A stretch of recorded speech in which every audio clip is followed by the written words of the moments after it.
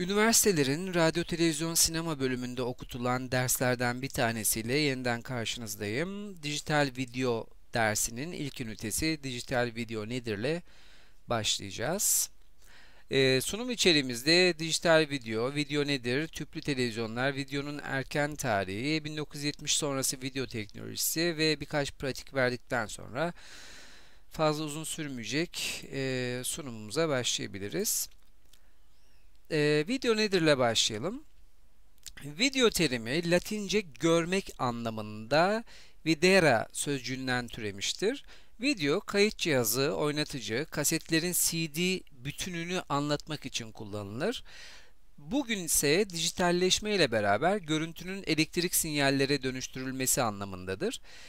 Ee, televizyon canlı yayınları yani film, e, kimyasal kameralarla değil, video kameralar aracılığıyla, çok affedersiniz, sesini kısmamışım bunun.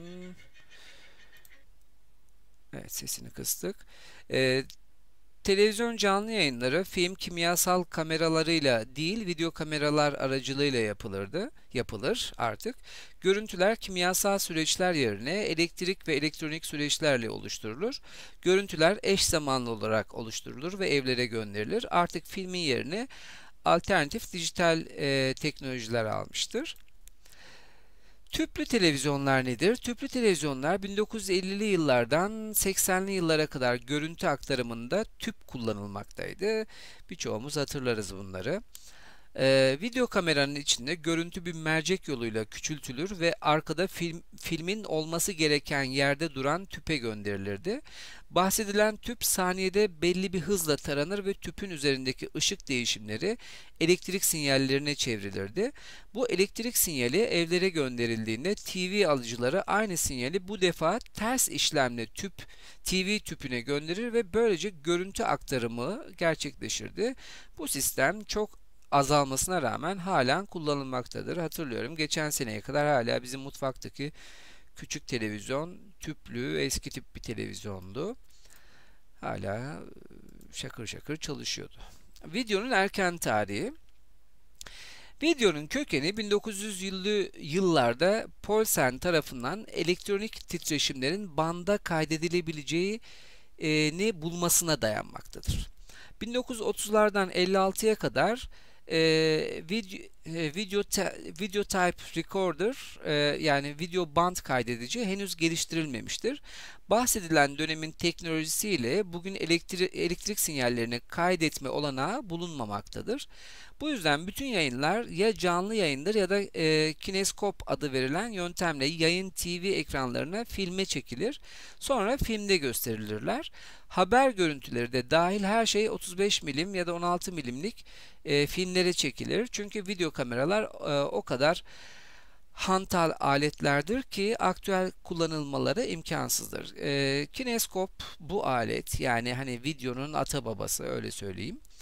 E, önceden hani bunu bilmekte fayda var. Önceden hani bugünkü e, televizyon yayıncılığı gibi canlı yayınlar bilmem neler maalesef ki yoktu. Öyle bir teknoloji yoktu. Önce işte 35 milimlik ya da 16 milimlik e, filmlere çekilir, yayın yapılırdı ya da daha çok ilk zamanları canlı yapılırmış. O canlı ekran kazaları da işte oyuncular dramlarda oyuncular repliklerini unuturlar, işte bir sürü kazalar olurmuş.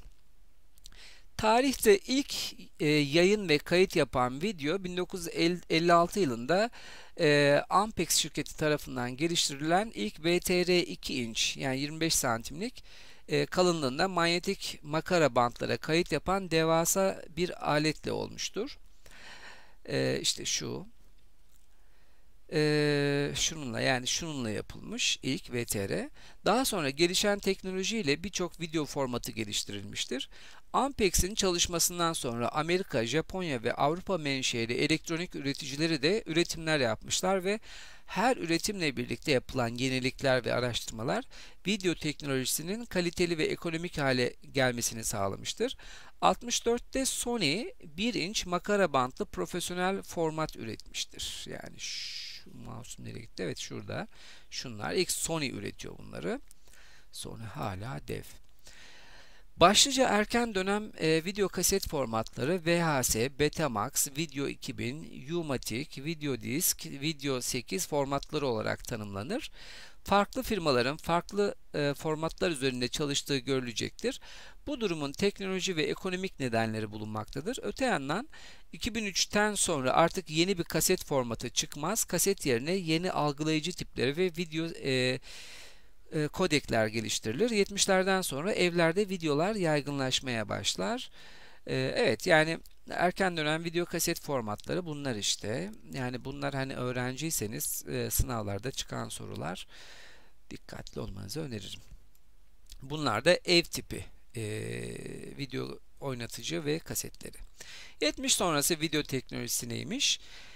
1970'ten sonrası 1970 sonrası video teknolojisi 71'de yine Sony U-Matic ile 4 4 bölü 3 4 bölü 3 inç kalınlığında e, bant ve ilk defa kasetli bir sistem kullanılır ve böylelikle video kameralar stüdyodan dışarı çıkabilecek duruma gelir. 1975'te Sony Betamax ise bir F formatıdır. Betamax işte şu e, bir ev formatı. E, nerede? Ah. E, 2 bölü 1 inç, 1 bölü 2 inç kalınlığında kasetlere kayıt yapar.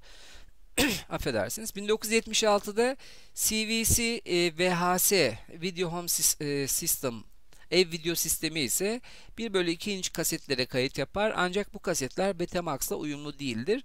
E, ee, 1980'lerde özellikle VHS ve Betamax'ın ölümüne bir e, rekabeti vardı. E, 1981'de Sony 90'larda 90'ların e, ortalarına kadar filan 1981'de Sony Video 8 ise yaklaşık 8 milim genişliğinde kasetlere kayıt yapan sistem üreterek bir devrime imza atar. Yani şu Şurada hani e, bileniniz bilir küçük kasetler vardı. Bunların içine konulabilen. Keşke fotoğrafını koysaydım buraya. Bu e, handicamlerle yani bu e, el kameralarıyla e, çekim yapmak hem son derece havalı hem de e, gerçekten de bir devrimdi. Çünkü artık sokağa taşmıştı video meselesi. Handycam yani el kamerası diye anılan ve yakın zamana kadar da kullanılan küçük kameralar üretir e, Sony. Bu kameralar VHS kalitesinde kayıtlar yapar. Sony Video 8 VHS kalitesinde kayıt yapabilen sistemdir. E, Sony Video 8 240 satır, e, satır çözünürlüğe sahiptir. Sony Video 8 boyutları açısından avantajlıdır. 70 sonrası video teknolojisi işte sıralamaya yani kronolojik sıralama sıralama şöyle. 1956'da Ampex ilk VTR 2 inç e, manyetik makara bandı üretiyor. 64'te Sony yine e, 1 inçlik makara bantlı profesyonel format üretiyor. 1970'te ev tipi videoların yaygınlaşması başlıyor. 1971 yine Sony e, U-Matic e, 3 bölü 4 inç bant ve ilk kasetli bir sistem, video kameralar e, üretir ve video kameralar stüdyolardan dışarı çıkar. O hantal, o Ampex'in ürettiği o hantal e, kameralardan kurtulunur. 75'te Sony Betamax 1 bölü 2 e, inç ev formatı kaseti üretir. 76 CVC e, firması VHS 1 bölü 2 inç ev formatı kaset üretir ve ikisinin arasında e, Betamax ve VHS arasında e, ölümcül bir rekabet başlar. E, 81'de Sony Video 8 e, çıkarır. Yani el kamerası da kullanılan hem el kamerası hem de onda kullanılan kaseti üretir ve e, video teknolojisinde devrimin ilk adımıdır bu. E, pratik bilgilerimiz neler? Dijital video kavramı ile dijitalleşme kastedilmektedir. Bugün dijitalleşme içine yeni medya da dahil edilmektedir. Yani sosyal medya. Ee, bunu yeni medya dersinde de işleyeceğiz ama bu dijital video dersinde de işleyeceğiz. Ee, artık video bildiğimiz videodan videolardan değil yani video çekmek görüntü evet öyle bakmamak gerekiyor. Ee, önceden alıcı yani bizler e, bir nasıl denir e, üretici vardı yani videoyu çeken e, ve e, bizim izlememizi sağlayan bir kurum ya da kişi vardı.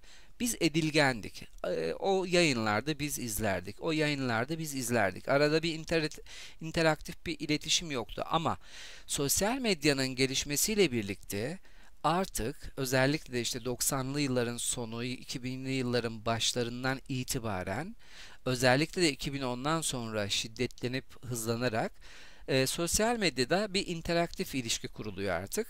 Yani artık herkes bir yayıncı ya da işte e, bugün ana ana akım medyalar medyaların bile, televizyonların bile e, WhatsApp seyirci hatları var. E, siz oraya video çekip gönderebiliyorsunuz ya da işte Instagram, Facebook, Twitter gibi sosyal medya hesaplarınıza videolar çekip yükleyebiliyorsunuz. Karşılıklı videolarla, seslerle iletişim kurabiliyorsunuz. Bu artık yeni medya, tırnak içinde yeni medya. Artık üniversitelerde bölümleri de açıldı bunların. Yeni medya meselesine giriyor. Yani alıcı bizler artık edilgen değil, daha aktif konumdayız. Yeni medya iletişimde alıcıyı pasif konumdan çıkarıp sosyal medyada paylaşılan küçük videoların paylaşımı, TV yayınlarına, 3D yayınına, 3D yayınına bağlanılma, yine TV'lerin WhatsApp hatlarına gönderilen küçük videolarla birlikte interaktif bir süreç içine sokmuştur. Yani bu durumda hem alıcı hem verici konumuna geçilmiştir. İletişim tarihinde anlatma ihtiyacı hiçbir zaman değişmemekle birlikte sürekli olarak anlatma, iletme yöntemi değişmektedir. Örneğin geçmişte dumanla bir iletim varken bugün onun yerini internet, TV gibi dijital ortamlara almıştır. Yani iletişim tarihine baktığınızdaki iletişim tarihi ve e, kurumsal iletişim kuramları diye e, derslerin ünite sunumları da olacak. Elbette ki oradan da takip edebilirsiniz ama özet olarak geçeyim. İnsanoğlu var olduğu sürece e, iletişim bir iletim meselesi, bir haberleşme meselesi hep vardı. İşte bu e, mağaralarda duvarlara resim çizmekten tutun da çünkü o gelecek nesillere bir aktarımdı, bir öğretimdi. Hani o e, mağara resimlerine çizilen, duvarlarına çizilen işte o e, hayvan resimleri, avlanma resimleri filan. Onlar hani e, zevk için yapılan şeyler değil. Bir iletim, bir haberleşme, gelecek kuşaklarla veya atıyorum yan klanla e, haberleşme mevzusundan e, çıkan şeyler onlar.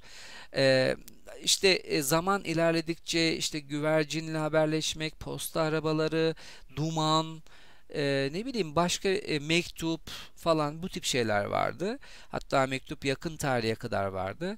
Sonra internetin e, keşfiyle dünya değişti. Dünya bir köye dönüştü artık. Önceden hani bir Amerika demek ne bileyim bir Avrupa demek hani ne bileyim bugün Mars bize neyi çağrıştırıyorsa Amerika demek de onu çağrıştırıyor olabilirdi belki. Ee, olabilirmiş. Belki de öyleydi. Çok uzak çünkü. Ee, işte ulaklarla falan filan e, haberleşilirdi ama artık e, hani 3 yaşındaki 5 yaşındaki bir çocuk bile bir tuşa basması yetiyor iletim için. Yani haberleşme için. E, dolayısıyla dünya değişti artık. Dünyayı internet değiştirdi. Önce atlar değiştirdi dünyayı.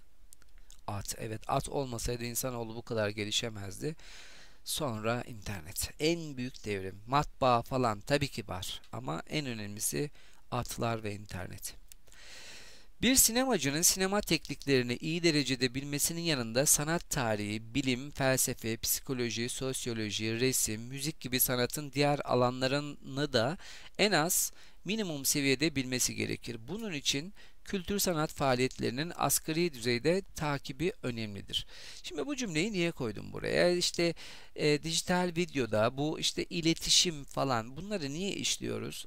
İşliyoruz çünkü sinema bütün sanat disiplinlerini kendi uktesinde, bünyesinde e, barındırabilen tek sanat dalı. Zaten yedinci sanat işte son sanat, son aktif sanat olmasının sebebi de o.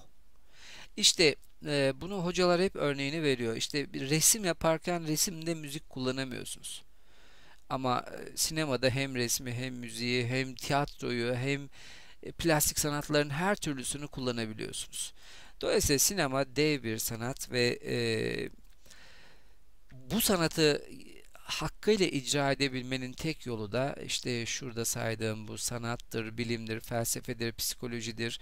Bunları bilmeniz gerekiyor. Psikoloji bilmezseniz karakter analizleri yapamazsınız. İşte sosyoloji bilemezseniz e, toplum tarihini bilemezsiniz. Resim bilemezseniz görüntü, resim yapamazsınız, kadraj yapamazsınız. Kolay kolay. Yaparsınız tabii de iyi yapmaktan bahsediyorum. Felsefe yapamazsanız o e, sosyal medyada sürekli paylaşılan hani filmlerden özlü sözler gibi şeyler var ya böyle hayatı, toplumu tanımlayan, e, tarifleyen cümleleri duyamazsınız. İşte bilim e, teknoloji kullanımından tutun da e, geleceğe dair birçok şey söylemi vardır. Sanat tarihi, sinemanın tabi. Sanat tarihi, sinemaya gelinceye kadar, bu yedinci harika sanata gelinceye kadar, işte tiyatronun geçirdiği, resmin geçirdiği evreler, müziğin geçirdiği evreler, bunu bilmeniz gerekir. Bunlar hani e, ilkokulda matematik öğrendiğimizde yine işimize yarayacak diyeceğimiz şeyler değil elbette ki. Yani bütün sanatları kendi uktesinde barındırabilen bir sanatın hakkını da vermek gerekiyor. Evet sunumumuz burada bitiyor. Kısa bir giriş oldu. İleride daha da bir detaylanacak. Her hafta yeni bir ünitesini işleyeceğiz. Ee, sol alttaki e, kaynakçalara çok teşekkür ediyorum. Sunum hazırlarken faydalandım. Ee, burada da dijital videonun e, video e, dersiyle ilgili sunumlar var. Toplam 14 tane. E, her hafta yenisi üretilecek ve e, izlemenizi, takip etmenizi şiddetle tavsiye ederim. Dinlediğiniz için teşekkür eder, iyi günler dilerim.